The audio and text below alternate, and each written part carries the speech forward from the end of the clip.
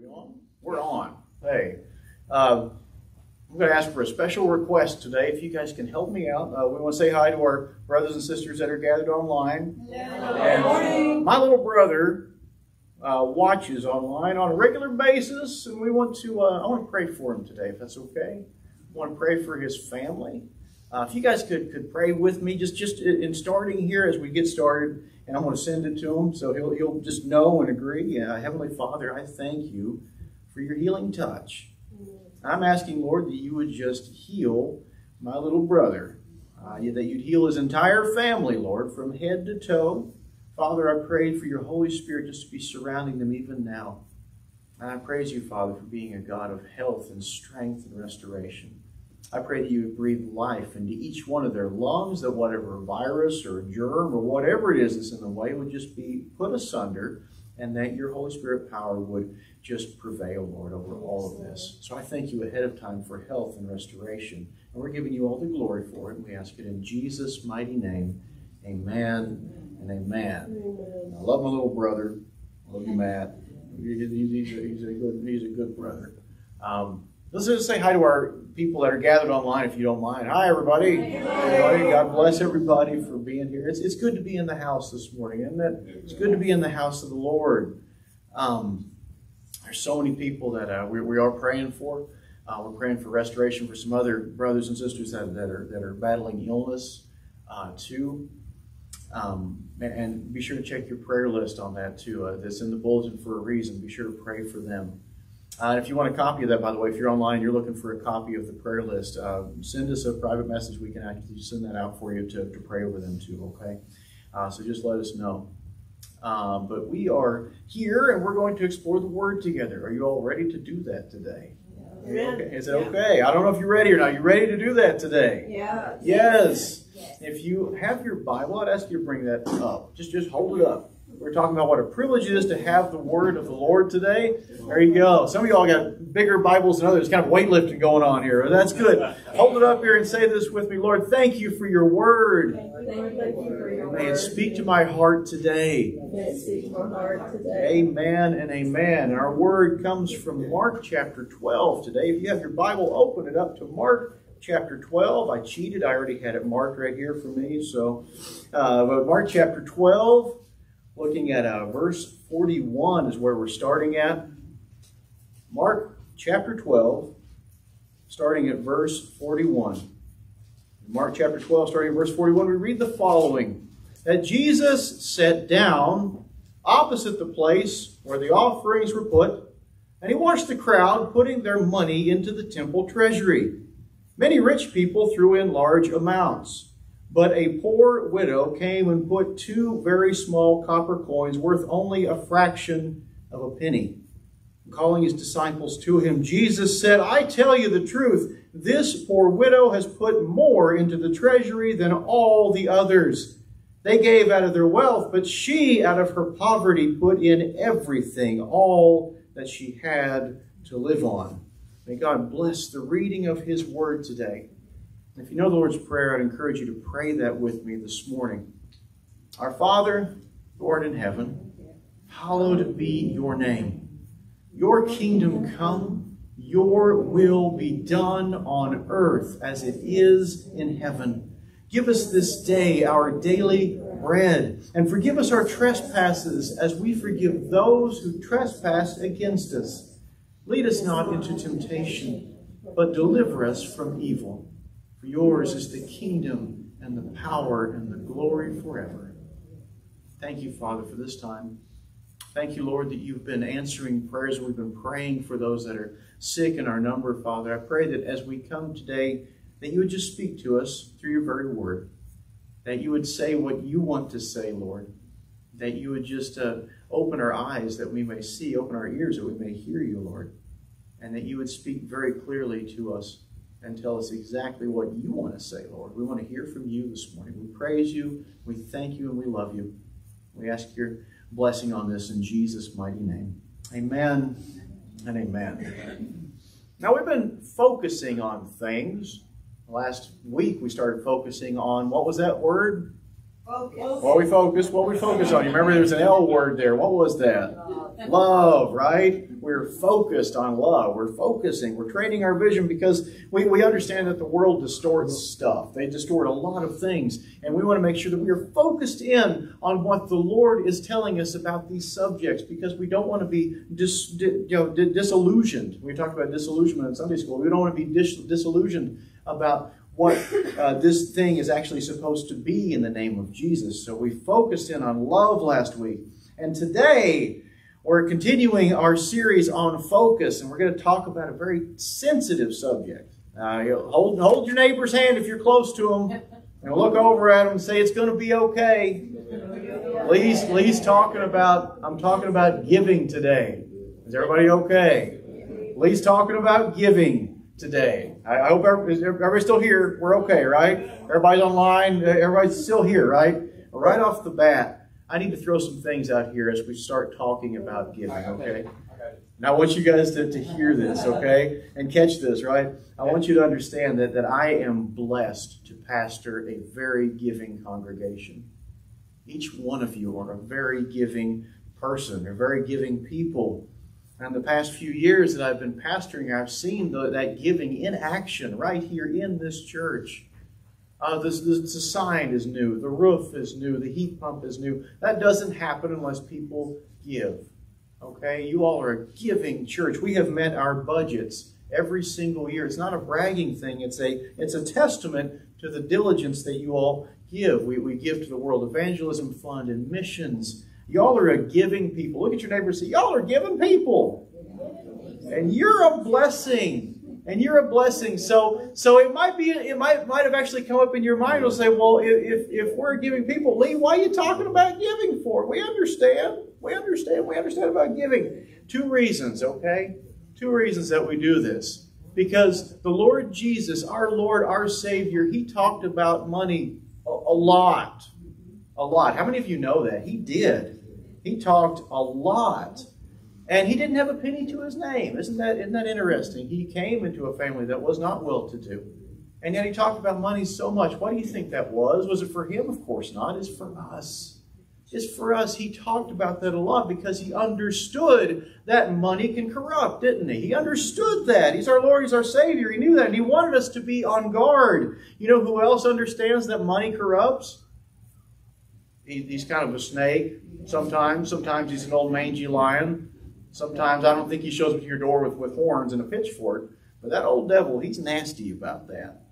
He he has led a lot of people astray when it comes to the subject of money. And honestly, you don't have to look any further in the scriptures than the person of Judas. Wow, what a tragedy there. You don't have to look any further than Judas. He himself was a disciple and yet it tells us in John chapter 12, verse 6, that he helped himself to the money bag. The money, he helped himself to it. This is a man who walked and he talked with the Lord Jesus himself in the flesh, and yet he turned his back on him for 30 pieces of silver. Oh my goodness. Now, I'd like to tell you that we, as Christians, uh, we, we are immune to the wiles and the love of money. I'd like to tell you that. but a quick glance at the world that we live in seems to tell a different story, doesn't it? It does. And I, I would dare say that these words, celebrity, millionaire, and pastor, should never go together. Ever. And yet, this is the world that we live in. This is the world that we live in. Hmm. We need to be on guard. You know, 1 Timothy chapter 6, verse 10 says, The love of money is the root of all kinds of evil. And some people eager for money have wandered from the faith and have pierced themselves with many griefs. I don't want that for anybody within the sound of my voice. I don't want you to fall into that snare. Jesus himself said in Matthew chapter 6, verse 24, that you cannot serve both God and money. That's what he said. So with that in mind, you know what we're going to do? We're going to focus. Somebody look at your neighbor again and say, We're going to focus. And what are we focusing on so we can guard our heart? We're going to focus on the subject of giving. We're going to focus on that because done in the right way, giving is another area of surrender in the life of the disciple. It's actually a form of worship. Did you know that? It's a beautiful thing. It will grow you. It will grow you as a disciple. It will grow, as grow you as a child of God. And it's an essential part of our life here in, the, in this life that, that God has blessed us with. Now, churches, the, the, the power bill doesn't pay itself for free, does it? It's part of it. It's a necessity. But we have the opportunity to give, to give. And as we do that, God blesses, doesn't He? Don't ever forget that. God blesses that. So, our source text today, we see that Jesus is watching this crowd. He's watching this crowd put in money into the temple treasury. And I am reminded right away that the Lord sees it all. He does. He sees it all. He sees what we give, He sees what we don't give. And if you don't believe me, just ask Ananias and Sapphira, okay? That's Acts chapter 5. Ask them. Every bit of money, beloved, every bit of money and resources that we are blessed to have in this life, you know who is made possible by? God. It's all a gift from Him, all of it. You go when you go home and, and you turn off and on your lights, man, it's a gift from God. It is. You drive your car. We're not on horseback anymore, by the way. Unless it's recreation. That's a gift from God, right? Uh, when we have this air conditioning, all this stuff going on, we can go in the faucet and turn on hot and cold water. That's a gift from the bountiful hand of Almighty God. I read in Deuteronomy chapter 8, verse 18. It says, But remember the Lord your God, for it is He who gives you the ability to produce wealth, and so confirms His covenant which He swore to your ancestors as it is today. How many of you know that God still provides for us? He does. He, is, he, blesses us more than we deserve. We are a blessed people. We are a blessed nation. We have a better standard of living right now than they ever had in biblical times. Ever. It is God who produces and provides the resources. There is no such thing as a self-made man. What a frustrating term that is. There's no such thing as that. What an arrogant term. I'm a self-made man. Why? Because he went to school, who provided your health for you to go to school? Who provided you to be born into this life that you're living in right now? There's no such thing as a self made man. We have to remember that. And when we remember that it is God Almighty who provides, who uh, gives us all of these things, it will affect how we give and it will affect why we give. We have to know that. Amen? So let's talk about how we give very quickly here, let's think about this. How we give. In the source text this morning, it says that Jesus observed many rich people throwing in large amounts. It says in the temple treasury, and I'm reminded of what Jesus said about how we should not give. Because Jesus talked about that too. When he was talking about money, he said how we should not give. And he gives this example in Matthew chapter 6. He says this in Matthew chapter 6. He said, Be careful not to practice your righteousness in front of others to be seen by them. If you do, you will have no reward from your Father in heaven. So when you give to the needy, do not announce it with trumpets as the hypocrites do in the synagogues and on the streets to be honored by others. Truly, I tell you, they have received their reward in full. Hmm.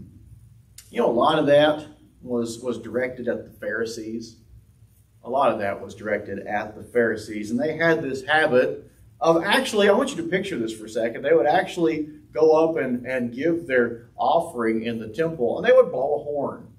Patoot, patoot. And go up there. I just think about that. You talk about tooting your own horn. Maybe that's where that saying comes from. I don't know. But they would go up and they would bring that offering, and just to make sure everybody in the whole room was looking at them, patoot, patoot.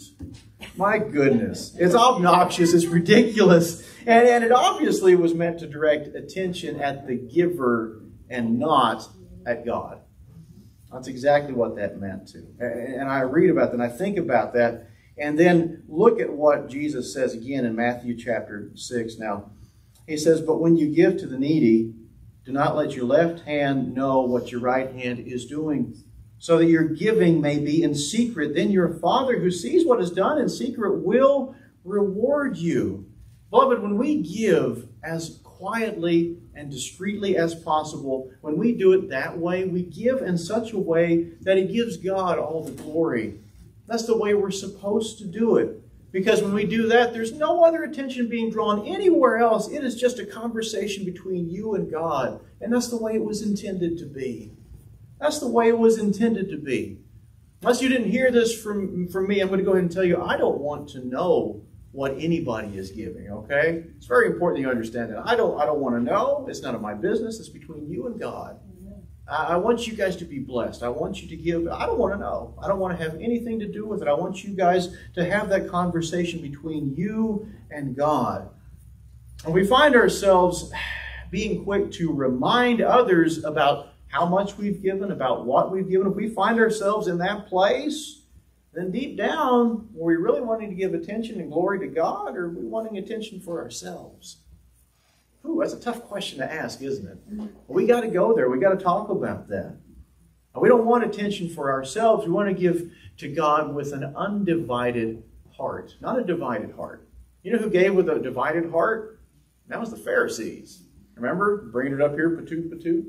That's going to be everybody's word for the day, right? Patu, patu. We don't want to be a Pharisee. We don't want to be a Pharisee. We don't want to give with a divided heart. We want to give with a whole heart, a surrendered heart. Now think about that, the way that the Pharisees did that. And I want you guys to realize the Pharisees, they, they gave on a regular basis. What did, what did Jesus say about them? What did he say about them? Did he call them good things? What do you call those Pharisees? Here, here's, a, here's just a poll out here. See if anybody remembers from Sunday school. He called them snakes. What else did he call them? Whitewashed tombs. Oh my goodness, blind guides. He called them that. He even went as far as calling them sons of hell. We have to be on guard against such things. We have to think about such things. And we have to realize that if they gave on the regular, and they did, what was the dividing part between this woman who gave very little and the Pharisees out there tooting their own horn. I got to think about that. And I would encourage you to read through the whole book of Malachi. If you get a chance, it's only like a few chapters. You'll get through it in probably 30 minutes. If you take your time, an hour, really stew over it, then read it again. And then try to get it in here, okay? Not just in here, but get it in here. I'm going to read you a portion of Malachi because what it starts to talk about when we talk about giving, it gets to the very heart of the matter. Point to your heart today. When we're talking about giving, you know what we're really talking about? We're talking about the heart of the matter, okay? We're getting to the heart of this because what this is doing, what, what this desires, we're trying to give out of an undivided heart, okay? Malachi chapter 1 now, starting at verse 6. I'm going to read this for you. I want you to listen to this. This is God speaking. A son honors his father and a slave his master. If I am a father, where is the honor due me? If I am a master, where is the respect due me, says the Lord Almighty. It is you priests who show contempt for my name, but you ask, how have we shown contempt for your name? By offering defiled food on my altar. But you ask, how have we defiled you? By saying that the Lord's table is contemptible. When you offer blind animals for sacrifice, is that not wrong? When you sacrifice lame or diseased animals, is that not wrong? Try offering them to your governor. Would he be pleased with you? Would he accept you, says the Lord Almighty? Now plead with God to be gracious to us. With such offerings from your hands, will he accept you, says the Lord God Almighty? Oh, that one of you would shut the temple doors so that you would not light useless fires on my altar. I am not pleased with you, says the Lord Almighty, and I will accept no offering from your hands. My name will be great among the nations, from where the sun rises to where it sets. In every place, incense and pure offerings will be brought to me, because my name will be great among the nations, says the Lord Almighty. But you profane it by saying the Lord's table is defiled and his food is contemptible. And you say, What a burden! And you sniff at it contemptuously, says the Lord Almighty. When you bring, and listen to this, when you bring injured, lame, or diseased animals and offer them as sacrifices, should I accept them from your hands, says the Lord? Cursed is the cheat who has an acceptable male in his flock and vows to give it, but then sacrifices a blemished animal to the Lord. For I am a great king, says the Lord Almighty, and my name is to be feared among the nations. It's powerful. It's a powerful text. It's a powerful book. If you need, if you want to read it, it's going to get down to the heart of the matter of why we give. Why do we give, beloved? We must remember that when we give, uh, it is the importance of giving with an undivided heart. Not a Pharisee's heart, not the patoot patoot heart, okay? It's one that's fo- not, not one that's focused on a what's in it for me attitude. The world is full of what's in it for me. There's a lot of that. There's a lot of giving with strings attached. You ever heard that example? There's a lot of giving like that in the world out there. Know, give with the world with the strings attached, and we're not supposed to do that. Not we're not supposed to give with one like one that's supposed to be blowing their own trumpet. We don't want the whole world to know about it, do we? One that's supposed to be centered on giving when no one else is looking. That's what we're supposed to be doing. We're supposed to be focusing on honoring God. We're supposed to be giving in faith, knowing that the Lord is seeing you right where you're at. That the Lord sees you and He's going to honor that. And when you're giving in secret, you know what you're doing? You're telling God, I love you. And that's how much. That's what it is. It's just you honoring God with what you're doing and in the way that you're giving. Now let's talk about what we're called to give. Let's talk about what we're called to give. Uh, of course, if you read in Malachi, uh, typically they'll talk about in finances, they'll say you know, the tithe means 10%. That's what it means. But I want to take it beyond just money, okay? Guys, let's look at it realistically. I want to emphasize again that this is between you and God. And Lee doesn't want to know, okay? Does anybody, everybody get that? Lee doesn't want to know. Well, what if at this moment God is calling you to give something else? What if you don't have any money? That's very realistic in this day and age. Right now, you could be completely without. What, what if you don't have any money at all? Well, maybe He's blessed you with a talent. Maybe He's blessed you with an ability. Maybe He's blessed you with a gift that you can bless somebody else with that nobody else can.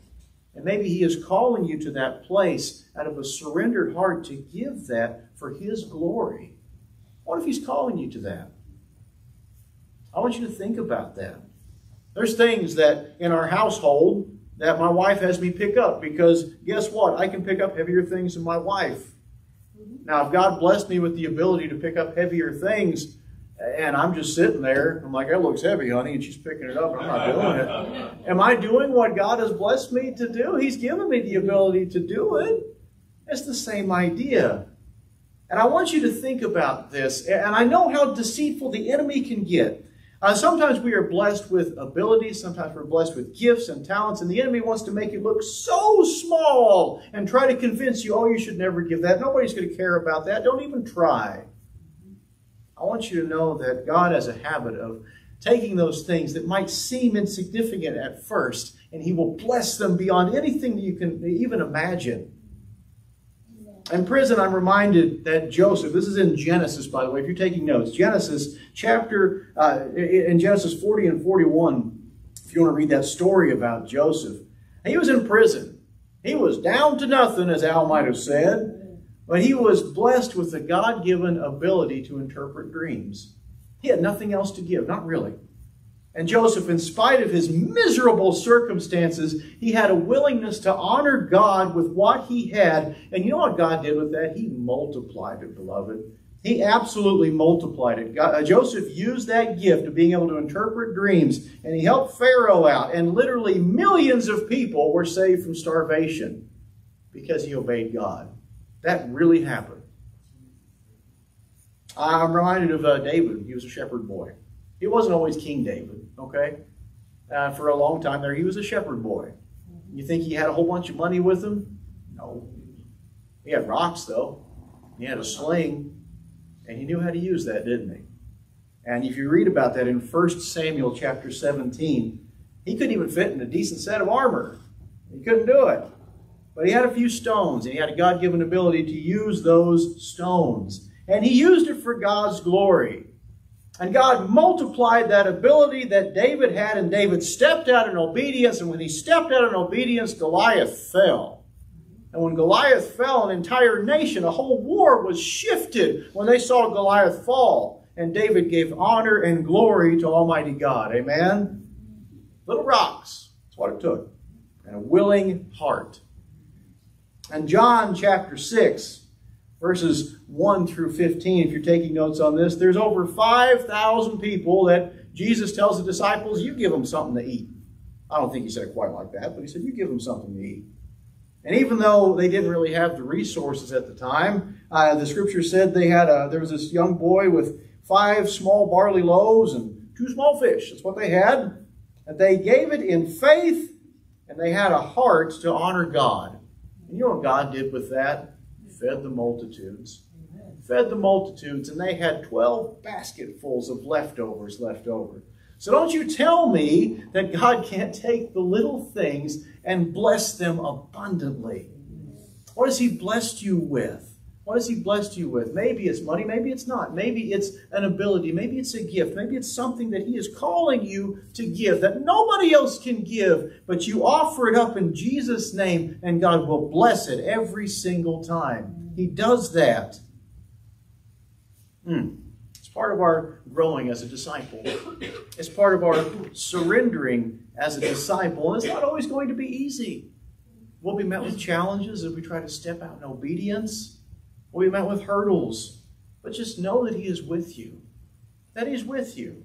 Another reason we give when in secret is because we know that He's with us when we give. He's there in secret when we give, and even if we don't have anything to give, and we're giving what we have, He blesses that. And he's there with us, ministering to us. And I, am reminded of this poor widow. In the source text, it says a poor widow came and she put two very small copper coins worth only a few cents. That's all she had. She didn't come up there with a trumpet. She didn't go patoot patoot. In fact, she might have been made fun of by some of those patoot patooters. Uh, she might have been. But she gave in obedience. And she gave what she had. She wanted to honor God with what God had blessed her with. And the Lord Jesus looked at that. And he didn't look at the two pennies. He saw right here. And he saw what she was giving. And he blessed that. He blessed that. Her example, her example went on for thousands of years now. We're still studying about it today. Now, if you had told her that at that moment, you think she would have believed that? You know, 2,000 years from now, people still would be talking about this moment. You think she would have thought that?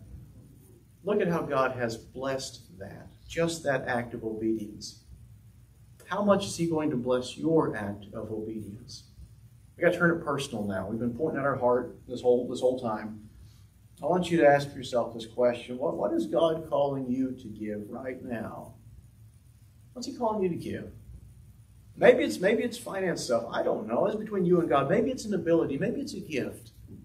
Maybe it's a talent that nobody else has, that only you can offer, that God has blessed your hands to give. Are you going to give it for His glory? Because I promise you, whatever it is, whatever you offer up to Him, if you offer it with an undivided heart, not a patoot patoot, if you offer it with an undivided heart, He's going to bless it. He's going to multiply it, and His kingdom will grow, and you will grow as a disciple. That's what he's calling you to do. So let's focus on that today. Really focus on that. Lord, what would you have us to give? I want you to think about that as we close in prayer. If you want to stand and let's close in prayer this morning.